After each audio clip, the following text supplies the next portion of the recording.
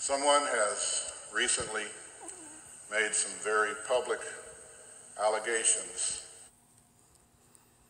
Okay, I'd like to say some things here. Number one, this is nothing but damage control. Number two, he knew everything. And there's proof of that. He knew what his Uncle Lloyd Goodwin was doing. He knew what Lee Ray was doing, and he covered it up. He threatened people to keep their mouths shut. Well, evidently, I don't even know at this point who it was that came out. Someone just sent me this video. But I can guarantee you this is nothing but damage control. And he knows good and well exactly what his Uncle Lloyd Goodwin did to women and young girls. He knew what Lee Ray was doing to women and young children, not just girls, but boys too. And he's covered it up for years. The church paid for his education to become a constitutional attorney so that he could cover his uncle's rear end. That's a fact, Jack. That's all I'm going to say right now. Someone has recently made some very public allegations that she was molested as a child 35 to 40 years ago in this church. She is alleging that Brother Lloyd Goodwin engaged in sexual activity when she was a minor. Um, she's wanting this to be very, very public. And if it's true, it's horrible. If it's true, it's a terrible sin. If it's true, I condemn it wholeheartedly. It's hard to, well, I won't even say that. I'll just say that Lloyd Goodwin has been dead for 25 years now. And if these things are true, then he'll have to face God in the judgment over it.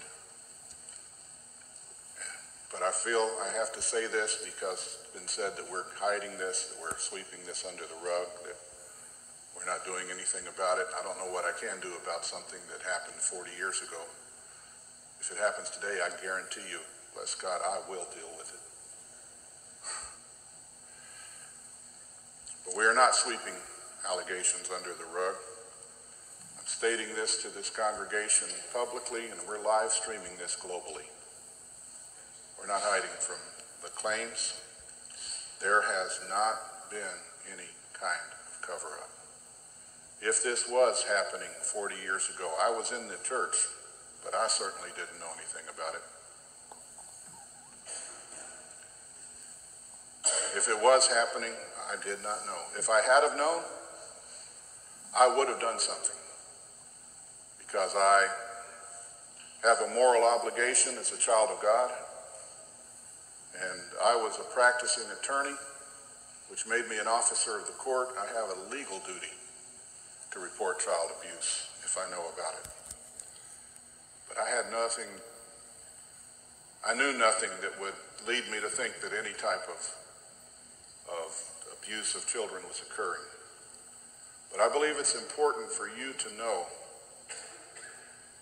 not only that the claims are being made over misconduct decades ago, but I want you to know that nothing like that's happening in this church now. I mean, I'm not perfect, but I guarantee you, I have never been unfaithful to my wife. Not one time. I have never molested a child. Although sometimes the spankings I gave my children, no, that's, I don't want to get into that, was not molestation. I have never done that I try to be extremely careful. I will not meet with any sister privately. If a sister comes into my office to talk to me, you're welcome to come talk to me, but the door will stay open unless my wife or someone else is present. I will not do that. I don't want, I want to avoid the very appearance of evil. I will not tolerate child abuse. It will be reported if it ever happens. We don't tolerate sexual immorality in this church. Some didn't like it, some disagreed with the way things were handled, but we took positive steps to end immorality involving adults as soon as we found out about it.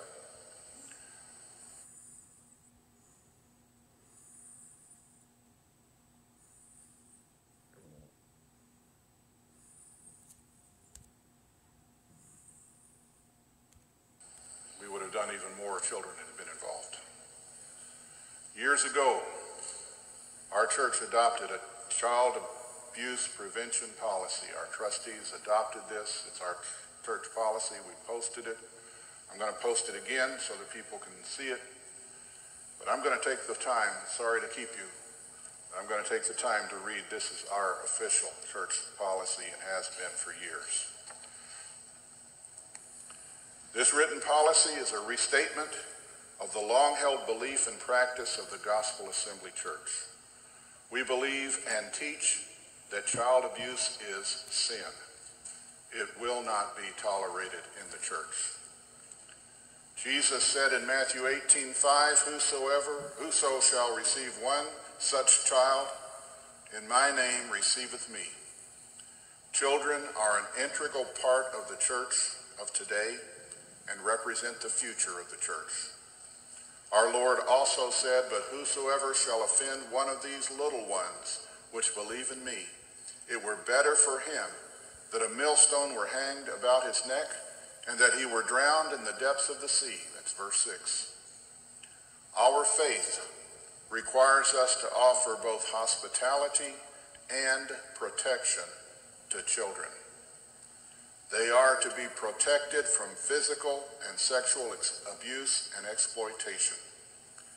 The congregation of Gospel Assembly Church is committed to providing a safe and secure environment for all children, youth, and persons of all ages who participate in the services and activities offered by the church.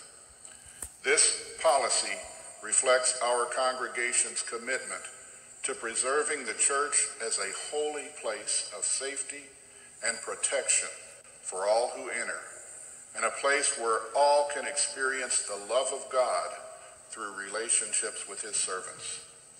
The purpose, our congregation's purpose for establishing this child abuse prevention policy is to demonstrate our absolute and unwavering commitment to the physical safety and spiritual growth of all of our children. Because of this stated purpose, and because tragic incidents have occurred in Christian churches and denominations, we openly declare our promise to conduct our ministry in ways that assure the safety and spiritual growth of all of our children and youth. We will be guided by these principles. All incidents of physical or sexual abuse of children that we become aware of will be promptly reported to law enforcement or other appropriate governmental agencies. Those persons who are mandatory reporters of child abuse, all of the nurses in our assembly and others who may be mandatory reporters, those persons who are mandatory reporters of child abuse under state law are encouraged to be aware of their legal duty. This church pledges not to interfere with any reporting of child abuse. We will follow reasonable procedures and safety measures in the selection and recruitment of church employees and volunteer staff. No adult who's been convicted of child abuse, either physical abuse or sexual abuse, will be allowed to work directly with children and youth in any church-sponsored activity. Adults who have survived abuse as a child are in need of the love and support of our congregation. Any such adult supervisor of child pardon me, any such adult survivor of child abuse who desires to work with children or youth in church-sponsored activities is encouraged to discuss this with the pastor or the elders. All adult employees or volunteers involved with children in our nursery, school, or other church-sponsored activity must have been members of the congregation in regular attendance for a minimum of six months before being accepted for such involvement. Adult employees or volunteers shall immediately report to the pastor or elders any behavior that seems to them to be abusive or inappropriate. The pastor or elder will investigate any report using biblical principles. If there is evidence of possible abuse, in addition to reporting to proper authorities, the employee or volunteer will be immediately suspended from any activity which involves direct contact with children or youth until the matter is satisfactorily resolved. Because of the legal principle of innocence until proven guilty, and because of biblical injunctions against slander and gossip, we will not make public pronouncements about investigations, unproven allegations, etc. However, we reserve the right to inform those who need to know to prevent possible further abuse. And we reserve the right to follow the principles of Matthew 18, 15 through 18 in administering church discipline. In all of our ministries with children and youth, the Gospel Assembly Church is committed to demonstrating the love of Jesus Christ so that each child will be surrounded by steadfast love, be built up in the faith, and be led in the paths of righteousness.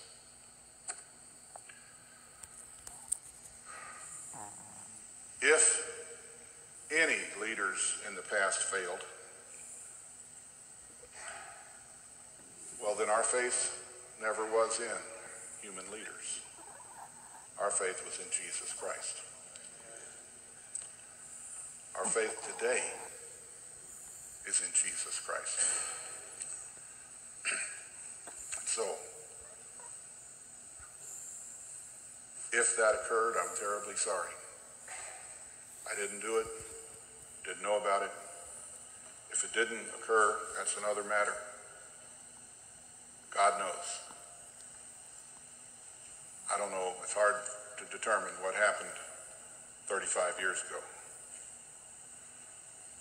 particularly when the person who is the perpetrator or alleged perpetrator has been dead for 25 years and can't present his side of the case if there's a side to be presented. I don't know. I neither uh, neither accept nor reject the claims because I just don't know. All I'm saying is if they're true, they're awful. And we don't do that. That is not what this church stands for. That is not what this church proclaims. I love our little children. I want to see them grow up strong, committed Christians with a vision of what the future holds for the body of Christ in a world that's getting dark and dim. There still needs to be some lights that shine. There still needs to be a city set on a hill that cannot be hid. There still needs to be the light shining in the lives of men and women who've grown up committed to serving the Lord with a real vision of his calling in their life. So I had to say these things because public claims have been made and I don't want anyone to say we are ignoring or sweeping things under the rug. Said what I said. If you have questions, concerns, feel free to come and talk to me about them. Um, I will be glad, be very willing to talk to you about any of these claims that have been made or any questions that you may have. I just don't want a whole lot of talk, talk, talk, slander, gossip type things being said. I think if you want to know, come tell me. Come talk to me. I'll tell you anything I know. So that's what I've said. I'd like to close our service with prayer. I want to ask you to pray for anyone who feels like they've been taken advantage of by someone who ought to have protected them. Whether they're in the church or out of the church, there's a lot of wounded people in the world. A lot of people who feel that they've been taken advantage of, that have been harmed. And uh, someone has recently made some very public allegations that she was molested as a child 35 to 40 years ago in this church. She is alleging that Brother Lloyd Goodwin engaged in sexual activity when she was a minor. Um, she's wanting this to be very, very public. And if it's true, it's horrible. If it's true, it's a terrible sin. If it's true, I condemn it wholeheartedly. It's hard to, I won't even say that. I'll just say that Lloyd Goodwin has been dead for 25 years now. And if these things are true, then he'll have to face God in the judgment over it. But I feel I have to say this because it's been said that we're hiding this, that we're sweeping this under the rug, that we're not doing anything about it. I don't know what I can do about something that happened 40 years ago. If it happens today, I guarantee you, bless God, I will deal with it. But we are not sweeping allegations under the rug. I'm stating this to this congregation publicly, and we're live streaming this globally. From the claims. There has not been any kind of cover up. If this was happening 40 years ago, I was in the church, but I certainly didn't know anything about it. If it was happening, I did not know. If I had have known, I would have done something because I have a moral obligation as a child of God. And I was a practicing attorney, which made me an officer of the court. I have a legal duty to report child abuse if I know about it. But I had nothing, I knew nothing that would lead me to think that any type of, of abuse of children was occurring. But I believe it's important for you to know